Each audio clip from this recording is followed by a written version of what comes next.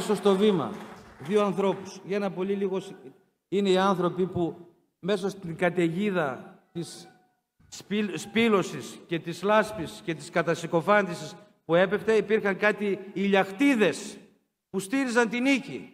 Γιατί πίστεψαν σε εμάς, γιατί, γιατί είναι σαν εμάς, είναι δική μας, είναι ίδιας ποιότητας.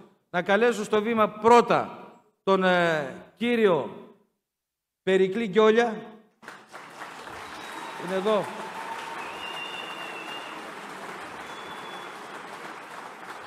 Από το Sport Time. Δεν ξέρω αν παρέμεινε μέχρι τέλος.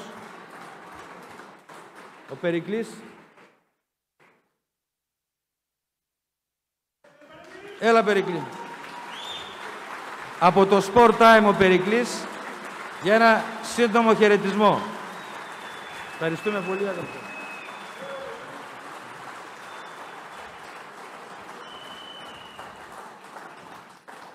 Την ευχή σας και συγγνώμη γιατί, για το θράσος που ανέβηκα και δέχτηκα την πρόσκληση.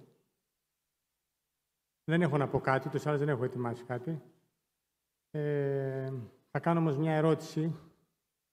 Ε, αυτό μου βγαίνει αυθόρμητα με όλα αυτά που άκουσα. Τον καθένα σας ξεχωριστά και ας απαντηθεί από τον καθένα σας ξεχωριστά στο σπίτι του, σήμερα το βράδυ, όχι εδώ. Είσαστε άραγε έτοιμοι να μπείτε στη Βουλή; Και τι εννοώ με αυτό; Και αν μπείτε, τι έχετε σκοπό να κάνετε την Κυριακή το βράδυ; Να γιορτάσετε, να πανηγυρίσετε, να φουσκώσετε από υπερηφάνεια; Εάν ναι, κατεβάζω το κεφάλι και ντροπαλά σας λέω, τότε δεν είστε έτοιμοι να μπείτε στη Βουλή.